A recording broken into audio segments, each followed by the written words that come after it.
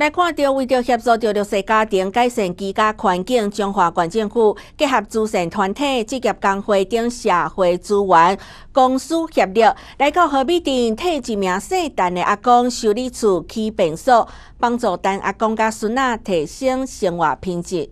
为了协助弱势家庭改善居家环境，中华县政府社会处、甲劳工处跨局处合作，整合组成团体、职业工会等社会资源，到顶来替何必定一名单身阿公来修身厝，去新的下景啊。那我们获得知道，就是说，因为这个地方是比较低洼的，每次就是它屋顶会漏水，再来，他现在用的。厕所是属于让工人塞困，那所以说那个社会处知道这么一个案例，然后提出来，那我我就在这边请说，哎，我们工会有很多人，是不是我们整合一些社会资源，共同来关心他，那让这个变成就是说能够让更多真正需要帮助的人能够落实到帮助他们。在我们这台湾社会，还有那种呃没有厕所、没有浴室的，我们立即就决定做这个协助。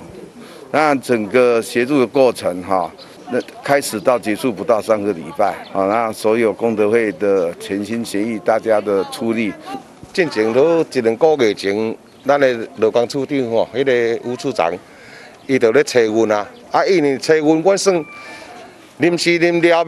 成成立这个职工队吼，啊嘛无人通找，啊，即届算迄还未成立的。啊，无法度，啊，则拜托阮即个河美区的王律师，吼，先来先甲咱个社会社社会处的啊联络啊，配合如我带咱家己遮李干事出来做。但是阿公甲孙仔两个人相依为命，经济来源拢是靠县府的补助金以及民间单位的生活辅助金。即届伫慈善团体及工会协助之下，将灶卡也整理甲真舒适，也添购新的家电各厨房用具。